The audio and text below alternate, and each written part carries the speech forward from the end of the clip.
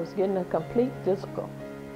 And I had a CAT scan and MRI, and this is where they picked it up at.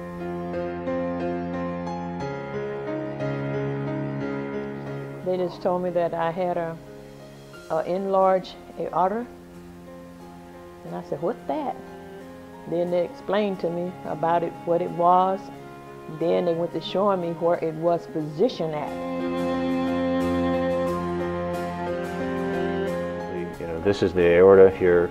This is her aneurysm here.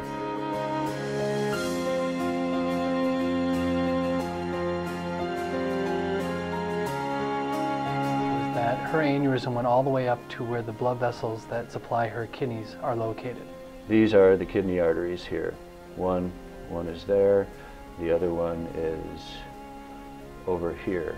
So essentially then, as we were saying, if we need to put this graft in in an artery that has you know, an aneurysm that goes all the way up to the kidneys, well then we have to put the graft above the kidney arteries in order to seal off the aneurysm. The problem with that is if we put the graft above the kidney arteries, we plug up the kidney arteries in the kidney.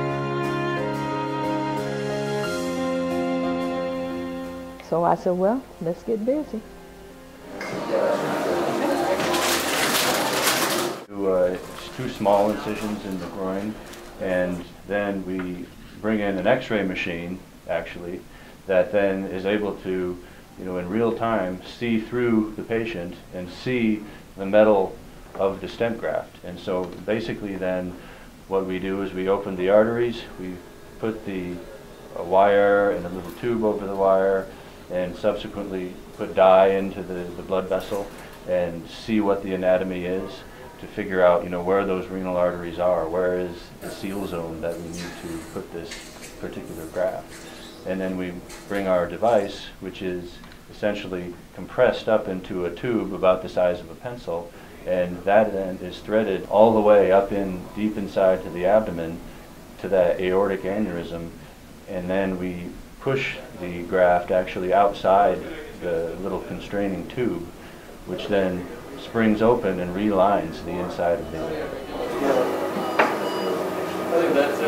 They went through the groin area, and that was better than them going through my tummy. And then the recovery is much faster. It's only a couple days versus you know a week or more in the hospital. And people start to feel better within about a couple weeks after the repair, which is a dramatic improvement over what we've been able to historically do. So after the aneurysm is repaired, what we can see here is we've got an aortic endograft, which essentially goes from above the kidneys and above the blood vessel that supplies the gut. So there's the one of the major blood vessels that supplies the gut. Then you have both branches where the kidneys are. And there's been a whole new blood vessel placed inside that old aneurysm, and that's represented right here. And while doing that, we've maintained blood flow to both the right and left kidneys. When we spin it around, you, you can see that there's nothing from blood flow going out into the old aneurysm sac itself.